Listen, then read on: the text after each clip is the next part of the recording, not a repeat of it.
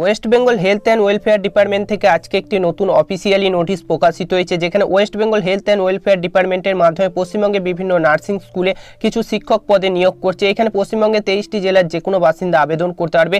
কোনো ধরনের লিখিত পরীক্ষা ছাড়াই সরাসরি ওয়াক ইন ইন্টারভিউয়ের মাধ্যমে West Bengal health and welfare department পশ্চিমবঙ্গে নার্সিং স্কুলে শিক্ষক নিয়োগ করছে। এখানে শিক্ষক পদে কোনো ধরনের ডিএলএড বা বিএড কোর্সের প্রয়োজন নেই এবং কোনো ধরনের অভিজ্ঞতা ছাড়াই সরাসরি আবেদন করতে পারবে পশ্চিমবঙ্গে তেইশটি জেলার যে কোনো বাসিন্দা। সো কোন কোন শিক্ষক নিয়ে নিয়োগ করাচ্ছে এছাড়াও কোন পদে কতগুলি ভ্যাকান্সি রয়েছে, সমস্ত কিছু ডিটেলসে জানিয়ে দেবো আজকের ভিডিওতে। সো অবশ্যই সম্পূর্ণ ভিডিওটি দেখার চেষ্টা করবে। আর চ্যানেলে নতুন হয়ে থাকলে এই ধরনের নিত্য নতুন আপডেট সবার আগে পেতে অবশ্যই চ্যানেলটিকে সাবস্ক্রাইব করে পাশে বেল আইকনটি বাজিয়ে দেবেন। সো চলুন ভিডিওটি শুরু করা যাক। West Bengal health and welfare department থেকে ষোলো বারো দু হাজার কুড়ি সালে, অর্থাৎ ষোলোই ডিসেম্বর দু হাজার কুড়ি সালে এই অফিসিয়ালি নোটিশটি প্রকাশিত হয়েছে।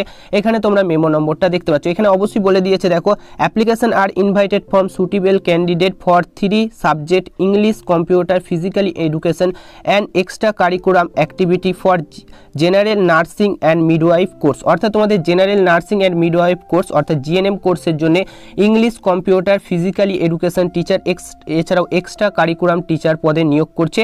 এখানে আবেদন করার শেষ তারিখ রয়েছে উনত্রিশ বারো দু হাজার কুড়ি, অর্থাৎ উনত্রিশে ডিসেম্বর দু হাজার কুড়ি সাল পর্যন্ত তোমরা আবেদন করতে পারবে। এখানে আবেদন করার একটি ঠিকানা দিয়ে দিয়েছে। এই ঠিকানায় তোমাদের সম্পূর্ণ অফলাইনে আবেদন করতে হবে। ভিডিও শেষে অবশ্যই জানিয়ে দেবো কীভাবে তোমরা আবেদনটা করবে। সো এখানে দেখো কোন কোন টিচার নিয়োগ করছে। এখানে ইংলিশ টিচার কম্পিউটার টিচার এছাড়াও অ্যাক্টিভিটির টিচার নিয়োগ করছে। সো ইংলিশ টিচারের ক্ষেত্রে তোমাদের অনার্সে গ্র্যাজুয়েট পাস করতে হবে।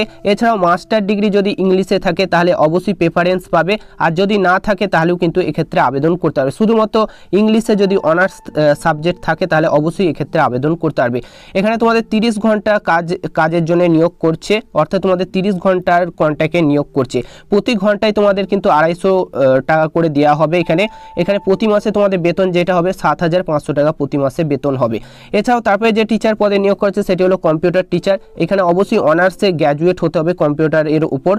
অবশ্যই তোমাদের অনার্সে গ্র্যাজুয়েট ডিগ্রি থাকতে হবে কম্পিউটার সায়েন্সের ওপর। আর যদি মাস্টার ডিগ্রি থাকে কম্পিউটার সায়েন্সের ওপর, তাহলে প্রেফারেন্স পাবে। আর যদি না থাকে, তাহলেও কিন্তু আবেদন করতে পারবে। মানে তিরিশ ঘণ্টা ডিউটি টাইম রয়েছে। এখানে তোমাদের অবশ্যই আড়াইশো টাকা প্রতি ঘণ্টা হিসেবে তোমাদের দেওয়া হবে। বেতন হবে সাত হাজার পাঁচশো টাকা প্রতি মাসে। এছাড়াও তোমাদের এক্সট্রা কারিকুলাম অ্যাক্টিভিটির টিচার নিয়োগ করছে। এখানে অবশ্যই গ্র্যাজুয়েট হতে হবে ফিজিক্যালি এডুকেশনের ওপর। মাস্টার ডিগ্রি যদি ফিজিক্যালি এডুকেশনের ওপর থাকে, তাহলে প্রেফারেন্স পাবে।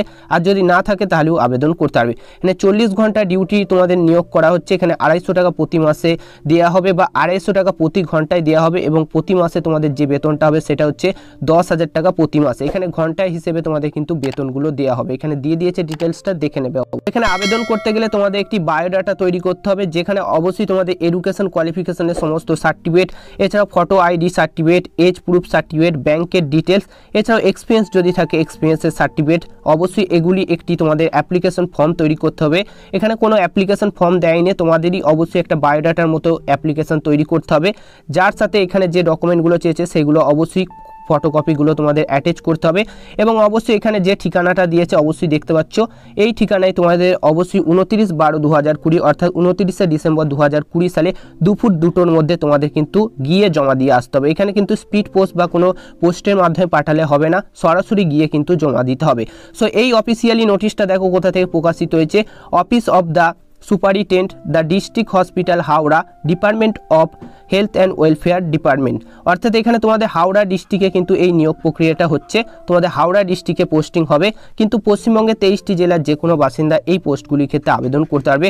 কোনো ধরনের লিখিত পরীক্ষা ছাড়াই সরাসরি ওয়াক ইন ইন্টারভিউয়ের মাধ্যমে নিয়োগ করছে ডিস্ট্রিক্ট হসপিটাল, হাওড়া। সো যাদের কোয়ালিফিকেশন রয়েছে এবং যারা অবশ্যই আবেদন করতে ইচ্ছুক রয়েছে, তারা অবশ্যই উনতিরিশ বারো দু হাজার কুড়ি অর্থাৎ উনতিরিশে ডিসেম্বর দু হাজার কুড়ি সালের মধ্যে আবেদনটা করে দেবে। সো ভিডিওটি ভালো লাগলে অবশ্যই লাইক শেয়ার এবং চ্যানেলটিকে সাবস্ক্রাইব করে নেবেন। এই ধরনের লেটেস্ট আপডেট সবার আগে পেতে।